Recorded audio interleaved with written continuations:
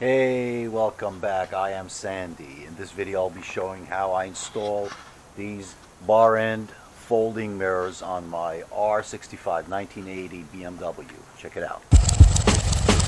Black, keep the Toyota. review about the Chotek. Switching over to the 787.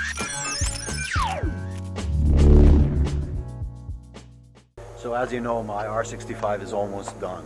I chose to go with a cleaner look on the handlebars and prefer not to go with uh, the standard mirrors and rather go with uh, you know handlebar end mirrors so I'm going to be installing these uh, these mirrors these folding mirrors that I picked up on uh, I think these I got at Revzilla or uh, uh, Dime, Dime City Cycle they were like 30 40 dollars not expensive foldable and install them right over here. So I need pretty much to cut a nice hole and uh, check out. I'm going to do a time lapse of uh, the actual install. So uh, at this point, before I start, I'd like to uh, ask for you if you enjoyed this video, go ahead, uh, give it a, a, like, a share, and if you're not subscribed to this channel, go ahead and subscribe to the channel so you can see further uh, videos that I put out.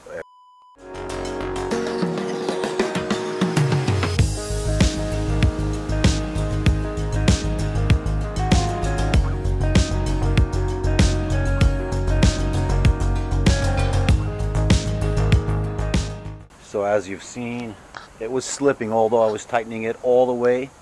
It was uh, the clamp inside is a is like a metal uh, anchor that expands and it, it touches the the inner part of the tubes, the inner part of the handlebars. It's metal on metal, it still slips. I covered it with electrical tape so it gets more friction and tighten it and it's uh, much better now. I'll do the other side now.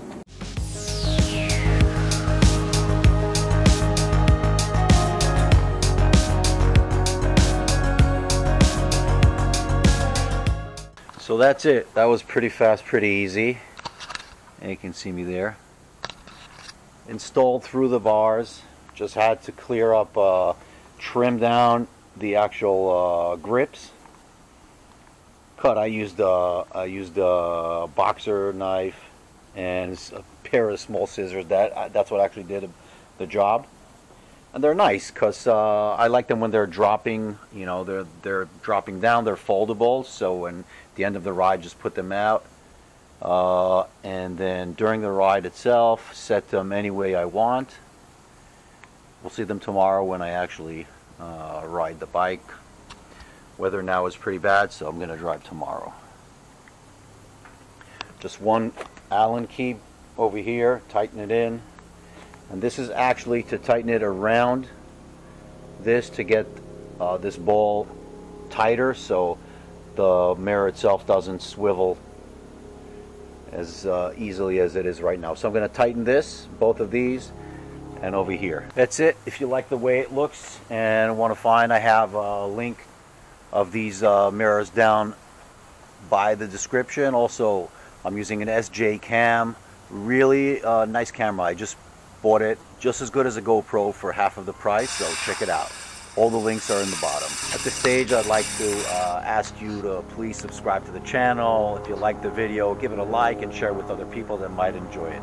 Till the next video, I am Sandy.